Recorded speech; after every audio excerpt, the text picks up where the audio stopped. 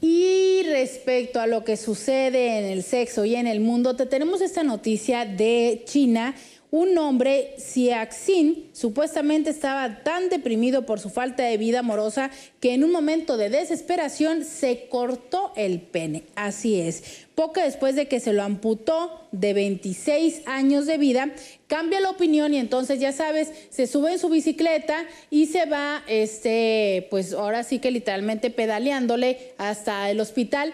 Pero ¿qué crees? Llega al hospital y se le olvida el pene, ¿no? Entonces en el hospital le dicen, pues con la pena, regrésese por su pene. Y lo vuelven a mandar en la bicicleta a que se regrese por su pene. Y por supuesto que cuando regresó, los médicos le dieron la mala noticia porque pues el pene había estado mucho tiempo sin sangre y sería imposible volver a injertárselo. Pero ¿cómo crees que el hospital hizo eso?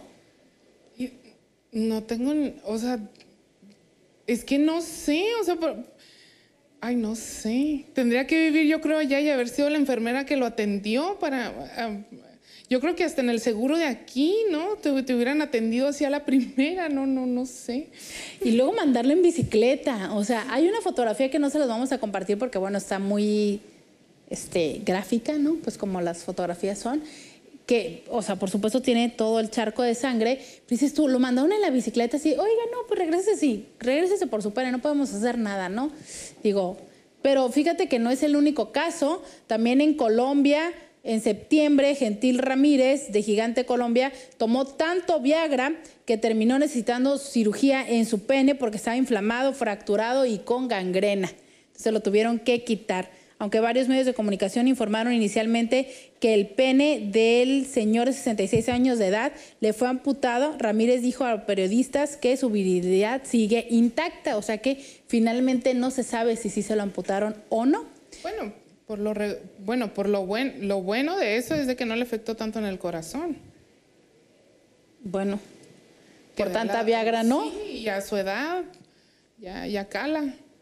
Y también en China, en junio, encontraron un hombre desnudo que estaba ensangrentado después de arrancarse parte de su pene durante una loca, durante una locura alimentada por las drogas, empezó a desmembrarse el pene, ¿no? Imagínate el viaje en el que estaba para que pudiera hacer esto. ¿Qué onda con Oriente, no? O sea, ¿por qué no pasa algo así aquí? ¿O qué, qué, qué está pasando allá? Bueno, aquí te platico que aquí en Estados Unidos, en abril, los miembros del jurado de Orange County encontraron a Catalina Q culpable de tortura y mutilación por un ataque que en julio del 2011 hizo a su ex marido, donde le cortó el pene y lo tiró a la basura. Mm, esa sí es una bueno, ya lo venganza permanente. Bueno, ya, ya ya, ya se había visto, ¿no? Con Lorena Babbitt, ¿no? Que, que después sí le pudieron rescatar el, el, pene y el hombre se puso a hacer películas porno. ¿A poco? Sí, tuvo como tres cirugías este, para que le dejaran, otra, le reconstruyeron bien su pene. Pero las primeras pornos que hace, este, sí, el, el, el pene está muy, muy dañado. ¿En serio? Ay, no. Habrá que ver las películas porno del señor Bobbitt.